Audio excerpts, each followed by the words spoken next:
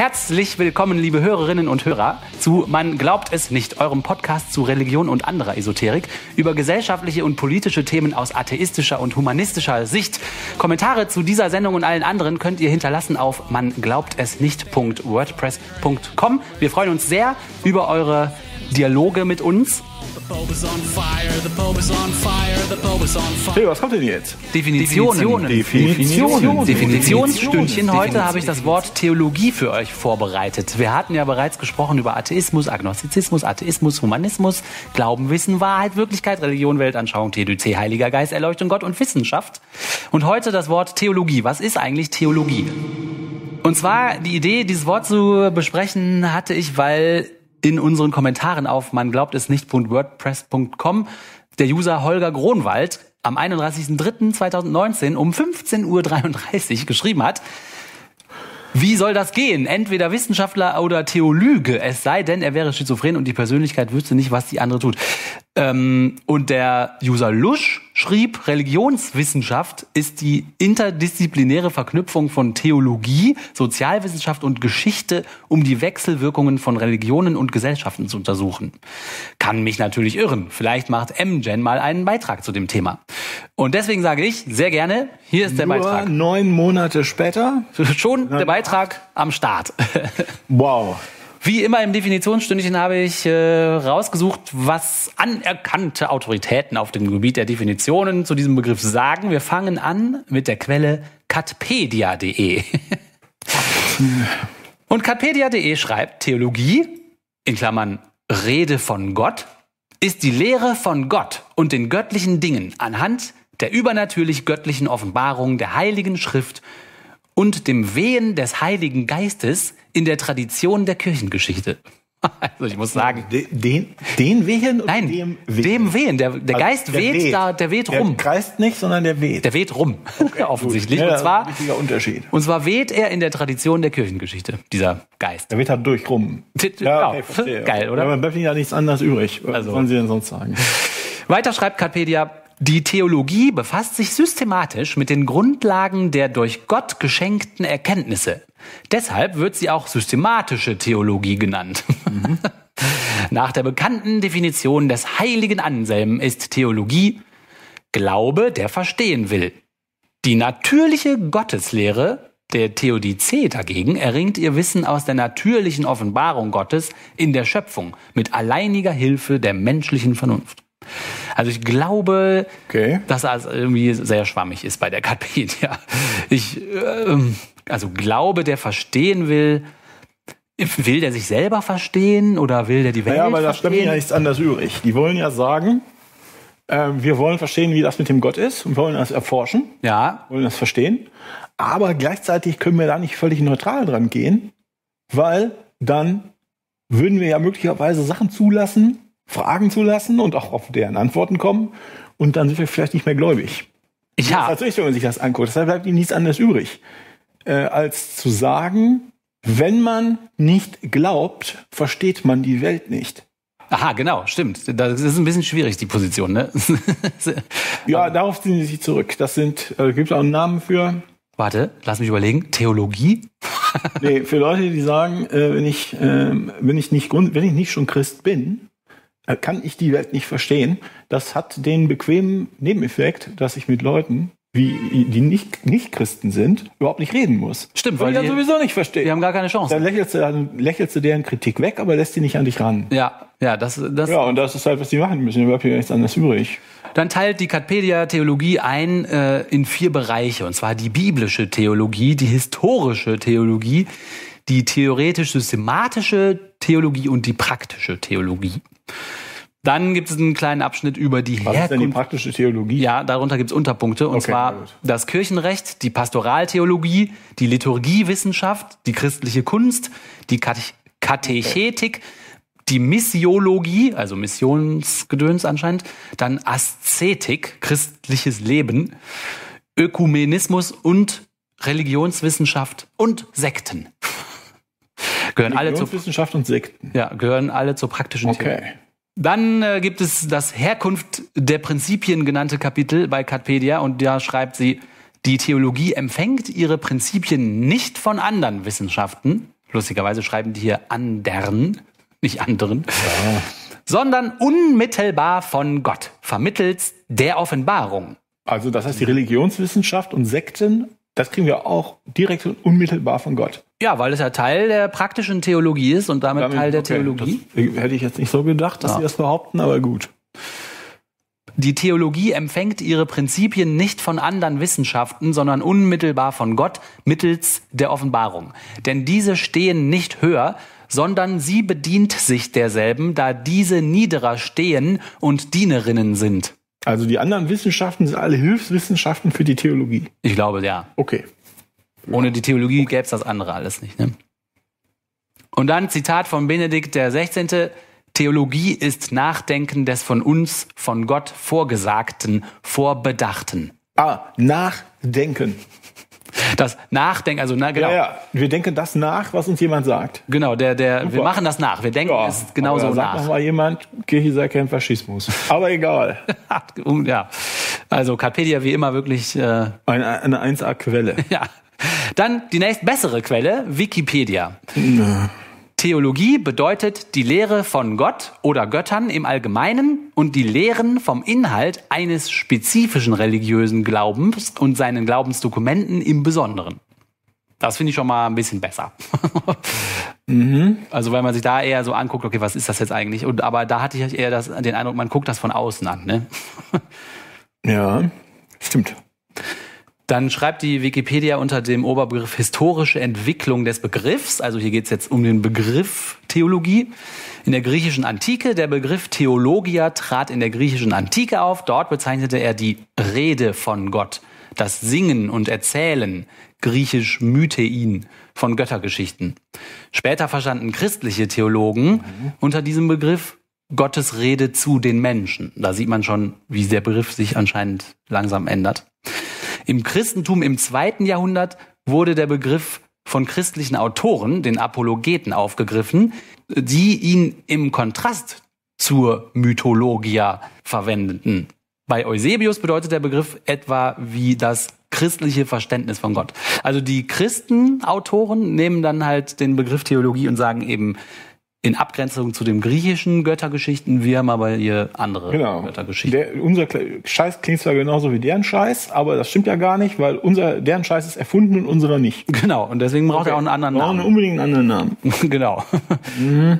Äh, dann schreibt die Wikipedia, da geht es noch ein bisschen weiter und äh, dann kommt, das fand ich ganz interessant, die Unterscheidung der Theologie als Wissenschaft von der Glaubenspraxis und der unmittelbaren Erkenntnis des Glaubens wurde zur Zeit der lutherischen Orthodoxie durch den Theologen Georg Callixt vorbereitet. Ach so. Und das ist natürlich eine wichtige Unterscheidung. Ne? Wenn man jetzt sagt, äh, Theologie ist, was der Gott sagt, dann hat man einen sehr unkritischen Blick darauf. Und wenn man sagt, ja, wir untersuchen jetzt mal, wie sich religiöse Leute verhalten, ist das schon mal echt ganz anders. Ja, es ist aber keine Theologie. Das ist doch wieder, geht in Richtung Religionswissenschaft. Das passt doch gar nicht da mhm. rein. Ja. Also es kann ja sein, dass die das da drunter gefasst haben. Das passt doch gar nicht zum Rest. Ja. Also ich könnte auch Religionswissenschaftler werden. Äh, da wäre ich doch kein Theologe. Stimmt, ja, stimmt. Dann gibt es ein äh, Kapitel bei der Wikipedia, der ist überschrieben mit christliche Theologie. Die Theologen im Christentum verstehen sich als wissenschaftliche Auseinandersetzungen mit den Quellen des Glaubens und der Glaubenspraxis sowie als systematische Analyse und Darstellung des Glaubens. Im 20. Jahrhundert kam als Disziplin die interkulturelle Theologie hinzu, die das Verhältnis von der christlichen Theologie und Praxis im Kontext verschiedener Kulturen, Religionen und Gesellschaften untersucht und sich den Fragen des interkulturellen wie interreligiösen Miteinanders widmet. Okay, das macht irgendwie Sinn. Dann gibt es ein kleines Kapitel in der Wikipedia, das heißt Kritik innerhalb der Theologie. Uh. Kritik begleitet die ganze Kirchengeschichte, denn Auseinandersetzungen, ja, ja. denn Auseinandersetzungen zwischen der etablierten Kirche und abweichenden Strömungen sind stets mit Kritik ja. verbunden. Daneben gibt es von Beginn an auch ein selbstkritisches Hinterfragen des eigenen Verständnisses. Da sind sie bekannt für. Mhm. So. Paulus mahnte, prüft alles und behaltet das Gute und verwies auf die Vorläufigkeit unseres jeweiligen Erkenntnisstandes. Unser Erkennen ist Stückwerk. Paulus, habe ich es auch mal gewikit, da schreibt die Wikipedia, Paulus von Tarsus war nach dem Neuen Testament ein erfolgreicher Missionar des Urchristentums und einer der ersten christlichen Theologen. Seine Historizität gilt den meisten Forschern als gesichert. Ach so? Die möchte ich aber gerne mal treffen, die meisten Forscher. Ja. Ja, okay, darüber sprechen wir dann, äh, sprechen wir dann in der großen Folge Christentum Roundup. Ja, also das schreibt die Wiki zu ganz vielen Sachen, die mit Religion zu tun haben. Das gilt als. Ja, ja, ist alles echt, ist so. Mhm, ja. Ist klar. Das war jetzt die Kritik innerhalb der Theologie. Jetzt gibt es in der Wikipedia ein Kapitel Kritik an der Theologie. Einige Wissenschaftstheoretiker sprechen jeder Theologie aufgrund ihrer Bekenntnisgebundenheit die Wissenschaftlichkeit ab und kritisieren ihre Präsenz und Finanzierung an staatlichen Universitäten in Form von theologischen Fakultäten. Ja, hier ich. Ja, ich auch. Ich bin zwar kein Wissenschaftler, aber die Kritik gilt trotzdem. Und ich spreche Ihnen auch äh, den Status als Wissenschaft ab. Kritik an der Theologie richtet sich, ich finde, das klingt so ein bisschen empört übrigens, dieser Satz. Ja, ja, das schon. So, Ja. ah! Es gibt so einzelne, die sind aber komisch. Kritik, also weiter schreibt die Wikipedia, Kritik an der Theologie richtet sich zum Beispiel gegen, dann drei Punkte, eine fehlende Ergebnisoffenheit. Ja, guter Punkt. Gott, der Glaube, die Offenbarung und dergleichen würden vorausgesetzt und seien nicht falsifizierbar. Ein solcher Anspruch auf absolute Wahrheit sei in anderen Wissenschaften ausgeschlossen. Ja, das macht Sinn, ne? Punkt zwei, eine fehlende Freiheit der Lehre. Theologische Lehrstühle würden im Einvernehmen mit der Kirche besetzt. Und zumindest an katholischen Fakultäten sei eine Lehrerlaubnis erforderlich, die im Konfliktfall entzogen werden kann. Siehe Liste von katholischen Theologen, denen die Lehrerlaubnis entzogen wurde. Ah, Auch ein guter Punkt. Damit sei eine Freiheit der Lehre bzw. Forschungsfreiheit nicht mehr garantiert. Finde ich auch einen guten Punkt. Punkt drei: Eine Entfernung der dogmatischen Theologie von den Erfahrungen der Menschen, besonders von ihren Sehnsüchten, Ängsten und Nöten. Diese könne zu einem Begriffsfetischismus herabsinken. Was? Also es ist wohl, da wird zu viel rumtheoretisiert, so interpretiere ich den Satz. Wenn die an den Lehrstühlen so viel Ah, also- rumtheoretisieren, dann geht's vorbei an Ja, den die Kritik eigentlichen. ist, das ist Hirnwichserei. Ja, genau. Man, Ja, aber sag ich ja nichts anderes übrig. Sobald es an die äh, reale Welt misst, bricht sich das sofort zusammen. dann zerfällt Geht halt Staub, nicht. wie Genau. beim Vampir, genau, ja. An Sonnenlicht Genau, gebracht. Ja, genau. So, und jetzt sagt die Wikipedia, auf diese Anfragen, also Anfragen, ich finde das eher, naja, egal, auf diese Ja. Anfragen gibt es verschiedene ja genau. Reaktionen Mehr beten. seitens der Theologen. Oh, Manche in die Theologen, Ohren tun. manche Theologen sehen Gott nicht als unmittelbaren Gegenstand einer theologischen Wissenschaft. Zum Beispiel sieht Wohlfahrt Pannenberg Gott als Gegenstand des Glaubens. Vertreter der natürlichen Theologie dagegen argumentieren für die grundsätzliche Erkennbarkeit Gottes mit Hilfe der natürlichen Vernunft, also auch ohne Glauben, beziehungsweise Annahmen von Offenbarung. Dazu gehöre ich dann auch zu. Den müsste man sehen können, wenn es den gäbe. Aber der sagt ja, natürlich kommt man darauf, dass es Gott gibt. Na gut, da bin ich doch kein natürlicher Theologe. Äh, Ich würde aber gerne mal mit einem sprechen.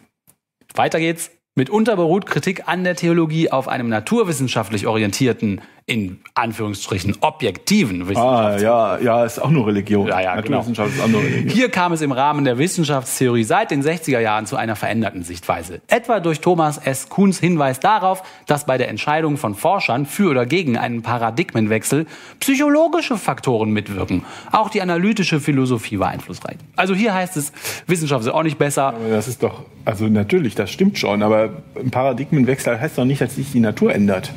Nee, das heißt, dass man seine Sondern das Beschreibung davon Ja, ändert. genau. So, nee, wir haben es doch noch nicht richtig verstanden. Wir Das ist- woanders. Das ist immer das super Überhaupt kein. Grund. Ne? Ja, guck mal, der, der Newton ist ja dann auch durch Einstein widerlegt worden. Also äh, so, ja, eben, das ist halt das Tolle am Fortschritt. Wir erkennen, dass man noch mehr Ja, erkannt das hat. die, sehen die Leute aber nicht so. Die sind jahrzehntelang trainiert, äh, überall die absolute Wahrheit zu suchen. Ja. So, als Abschluss äh, gebe ich dann noch äh, Nicht zu zum Besten, was der Brockhaus Ach du meine Güte. dazu zu sagen hat. Theologie, spätlateinisch von griechisch Theologie, ja, Rede oder Lehre von den Göttern. Systematisch reflektierende Entfaltung religiöser Glaubensaussagen. Äh, okay. Systematisch reflektierende Entfaltung religiöser Glaubensaussagen. Ja. Ja. Das fällt aber wieder auf das hinaus, was Sie vorher sagen, die, ähm, was Sie vorher schon gesagt haben. Ne? Da ist was und wir wollen nur, wir wollen das ein bisschen besser erkennen können.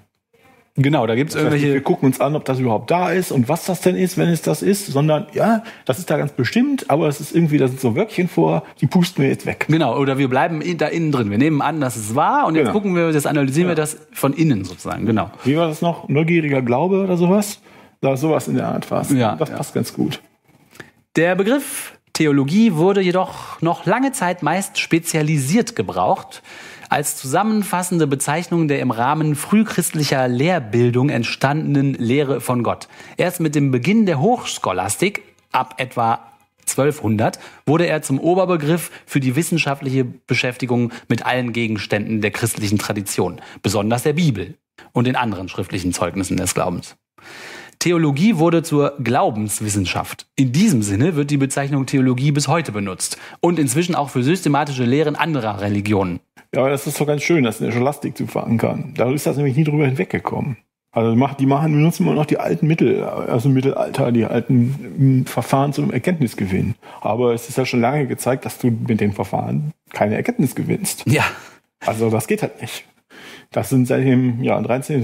seit dem Ende des Mittelalters klar, dass das nicht geht. So, das ist möglicherweise die Erkenntnis, ist das Ende des Mittelalters. Ja. Ja. Dann gibt es äh, im Brockhaus einen Abschnitt, der heißt Theologie und Religionswissenschaft. Die Theologie als Wissenschaft und die Religionswissenschaft beziehen sich grundsätzlich auf denselben Gegenstand, und zwar die religiöse Verfasstheit des Menschen sowie die Ausprägung von Religionen in der Geschichte.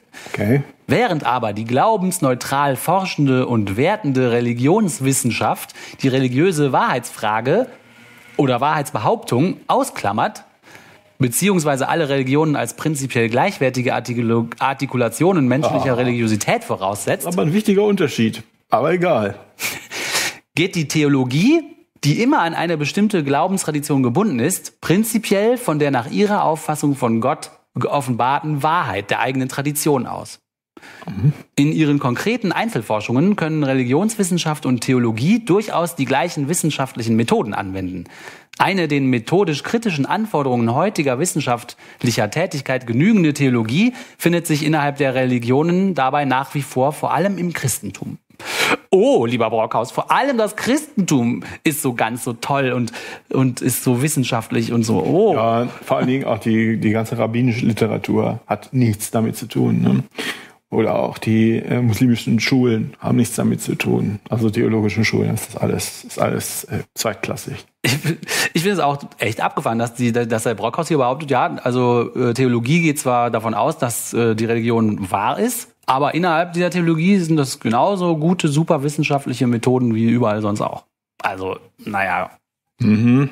Dann kommt der nächste Abschnitt im Brockhaus, Theologie als Wissenschaft. Die christliche Theologie kann in dreifacher Weise als Wissenschaft verstanden werden. Erstens als methodisch exakte Reflexion und Darlegung des sich auf Jesus gründenden Glaubens an Gott. Mhm. Hierbei wird die Wahrheit der christlichen Sache vorausgesetzt und selbst nicht in Zweifel gezogen. Ja, genau. Also der Brockhaus ist ja auch, die haben ja schon manchmal erwischt beim sich in die Tasche lügen. Ja, ja, ne? Lügen sich eins in die Tasche. Na gut, was ist denn der zweite Punkt? Erst, ja, dann geht's aber hier noch zu dem ersten Punkt weiter. Erst mit der kritischen Wende der Neuzeit und dem Aufkommen der modernen Wissenschaften entfaltet die Theologie ihre Aussagen in der Auseinandersetzung mit kritischer Philosophie, Natur- und Humanwissen. Dieser Theologie fehlt nach modernem Wissenschaftsverständnis das Kriterium der Voraussetzungslosigkeit. Sie wäre demnach zwar in der Anwendung der Methoden, nicht aber als solche wissenschaftlich. So, okay, danke Brackhaus, dass ihr das wenigstens noch hinten dran hängt. Methoden sollen das denn sein, die da so, ach so wissen. Ja, wenn die jetzt eine Textforschung machen und Quellenforschung und wer hat das geschrieben und bla bla bla, Handschriften entziffern, kann man ja sagen, kann man wissenschaftliche Methoden. Die Frage ist, ob das noch Theologie ist. Wenn jemand Text- Textgeschichte erforscht, hat, ist das doch völlig unabhängig davon, ob da jetzt ein göttlicher Text ist oder ein, wir- was weiß ich, wir haben über Buchhaltung gesprochen oder sowas. Ja, stimmt, Das das hat doch damit gar nichts zu tun. ja, das ist ein guter Punkt. Ja, na, egal. Vielleicht verstehe ich das bloß. So, jetzt aber der zweite Punkt, warum die christliche Theologie als Wissenschaft verstanden werden kann. Punkt zwei, Theologie als historische Wissenschaft. Sie erhebt nicht den Anspruch, Gott zum Gegenstand der Theologie zu machen, sondern die historischen Gestaltformen, die das Reden von Gott im Verlauf der christlichen Geschichte gefunden hat. Aber das ist doch dann Geschichtswissenschaft und nicht Theologie, oder? Mich wundert das auch. Ich dachte, dass die Ausprägungen von Gott sind äh, äh, Kern der Theologie. Und seine Wünsche und äh, Regeln und was nicht alles, was er sich so vorstellt, was man so machen soll. Sondern wenn du das nicht hast, kannst du doch überhaupt keine Kirche bauen, keine Religion Ja. bauen. Wenn der Gott nicht sagt, ich finde das gut und das schlecht und das habe ich gemacht und darum will ich das, Ja. das ist doch keine Religion. Nee, da hast du Geschichtsunterricht oder Geschichtsforschung. Ja. Ne? Man, ja. Also warum das dann noch Theologie heißen soll, weiß ich auch nicht. Ja gut, das ist natürlich dann alles wissenschaftlich. Ne? Das kann man wissenschaftlich machen. Das ist dann nur nicht mehr das, was wir darunter verstehen. Ja. Also unter, nicht unter Wissenschaftlichkeit, sondern unter Theologie. Ja, ja, genau, genau. Dann hat ja falscher Name dann irgendwie. Und wenn du dann das Beschäftigen mit Gott ausschließt, ja, das ist dann nur noch so, Historie. wir, wir machen Chemie, aber Elektronen gucken wir uns nicht an. so, mm, ja, gut, macht ihr mal. So, dritter Grund.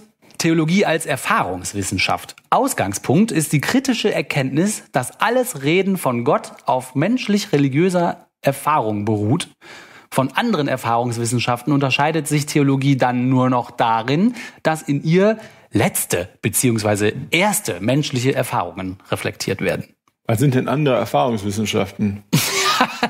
Ich weiß auch nicht, was überhaupt eine Erfahrungswissenschaft sein soll. Ja, da könntest du ja sowas wie Soziologie oder sowas. Aha. Meinen die sowas?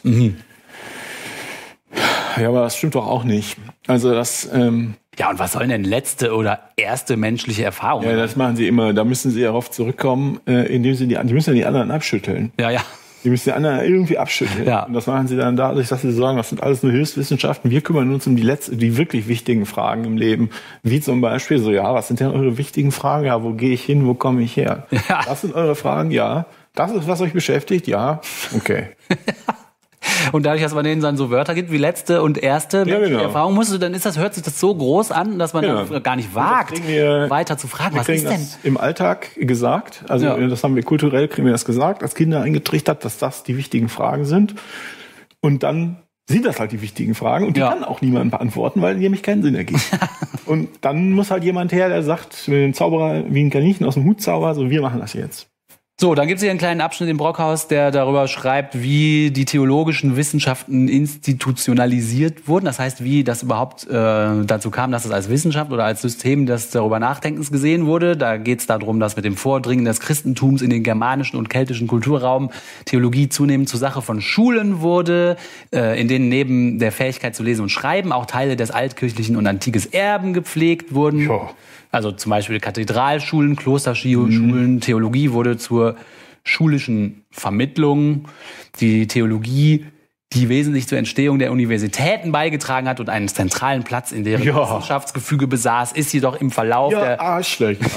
Ihr Arschlöcher. ja, ja, die Theologie hat die Universitäten überhaupt erfunden. Ne? Ist jedoch im Verlauf der letzten 200 Jahre wegen ihrer kirchlich-konfessionellen Rückbindung und der kirchlichen Entwickl äh, Einwirkungsrechte auf die theologischen Fakultäten in ihrer Stellung im Wissenschaftskanon der staatlichen Universitäten umstritten. Ja, in vielen Ländern aus der Universität entfernt und an kirchlichen Hochschulen verwiesen wurden. Ja, genau. Kirchliche Hochschulen, meinetwegen, sollen sie machen, was sie wollen. Können sie alles selber schön bezahlen. Ja, solange sie auf dem Boden der freiheitlich-demokratischen Grundordnung bleiben, bitte. So, und jetzt gibt es tatsächlich hier auch noch eine Unterteilung der theologischen Disziplinen, so ähnlich wie bei Katpedia ganz am Anfang, schreibt auch der Brockhaus, davon, dass es verschiedene theologische Disziplinen gibt, und zwar die historische Theologie, Bibelwissenschaft, Exegese, Patristik, Kirchengeschichte, Theologiegeschichte, kanonistische Rechtsgeschichte, Zweitens die systematische Theologie, Dogmatik, theologische Ethik, Moraltheologie und Fundamentaltheologie. Und drittens die praktische Theologie, und zwar die Pastoraltheologie, Kirchenrecht, Liturgiewissenschaft, Liturgik, Religionspädagogik, Katechetik, Homiletik und Poimenik. Ach, Poimenik ist die Seelsorgerlehre, äh, Seelsorgelehre und den restlichen Begriffswust haben sie sich nicht erdreistet zu erklären.